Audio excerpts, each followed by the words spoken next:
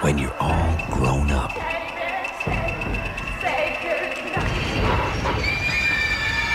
You're ready for the Magnum.